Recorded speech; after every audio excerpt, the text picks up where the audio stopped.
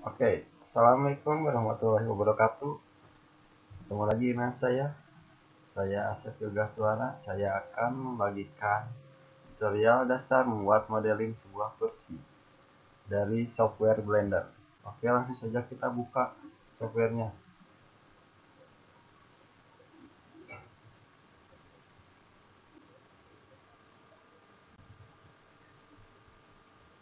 Oke, sudah terbuka.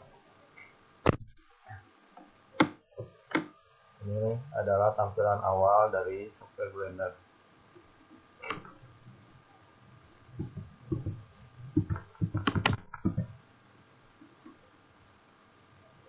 Langsung saja. Untuk menampilkan tampilan depan seperti ini, kita perlu mengatur dulu di pengaturannya. Caranya klik file terus ke user.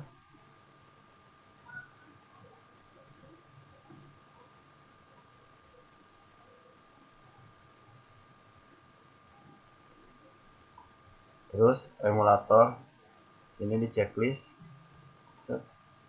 Terus save.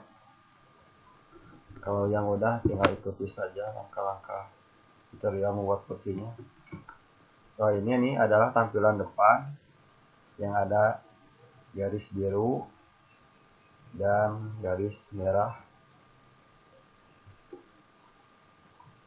Oke langsung saja kita membuat tutorialnya. Maksud saya membuat sebuah kursinya. Pertama kita klik keyboard tab. Ini bagian dari edit mode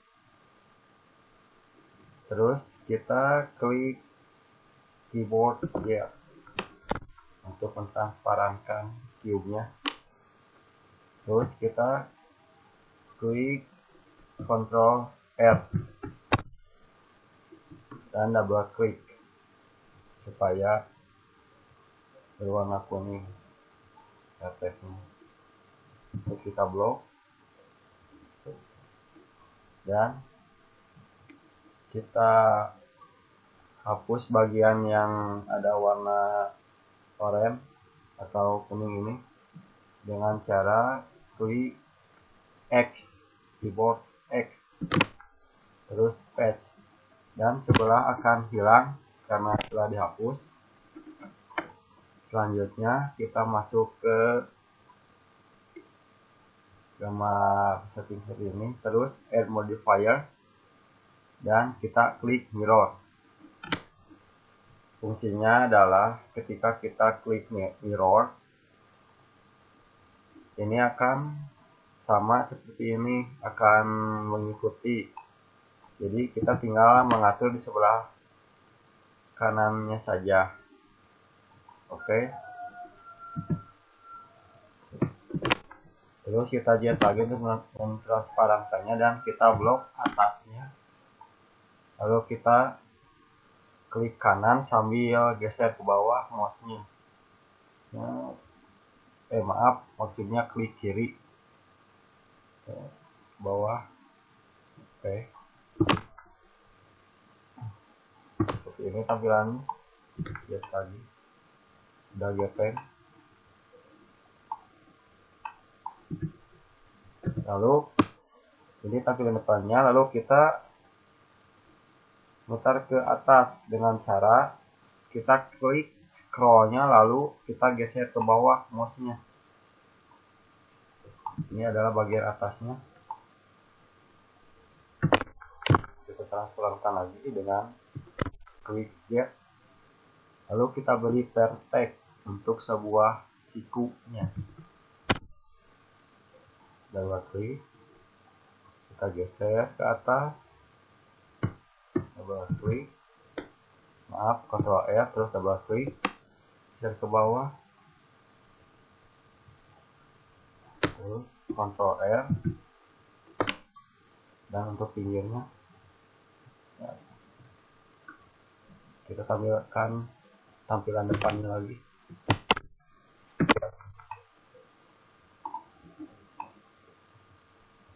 Lalu kita geser ke bagian bawahnya dengan cara klik scroll lalu ke bawah. Terus kita ubah ininya selectnya kita lihat. Ini sudah ada tanda titiknya karena kita udah ubah selectnya kita pakai shift. Kita akan membuat sebuah kaki kursinya. Pertama select bagian ini siku terus pakai shift terus kita bagian depan lagi ke bagian depan lagi dengan cara klik angka 1 terus kita extrude dengan cara klik E, e lepas terus klik ke bawah bisa sudah jadi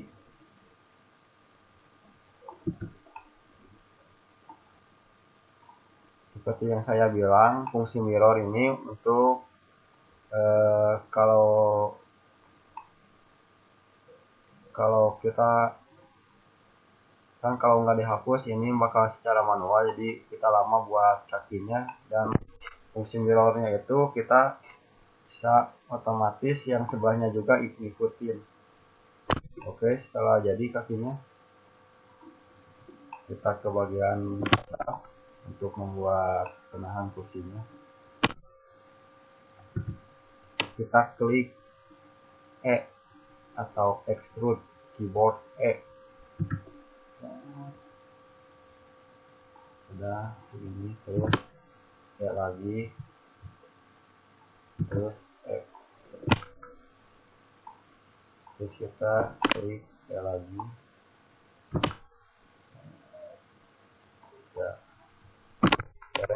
ini adalah sebuah kursi.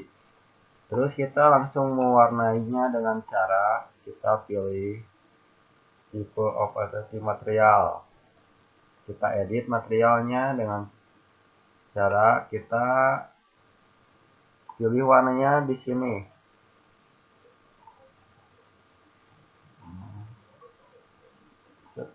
Sudah sudah beres ini adalah hasil kursi modeling kursi dari saya Terima kasih, semoga tutorial ini bermanfaat untuk kalian. Mohon maaf bila ada kesalahan kata. Oke, wassalamualaikum warahmatullahi wabarakatuh. Thanks.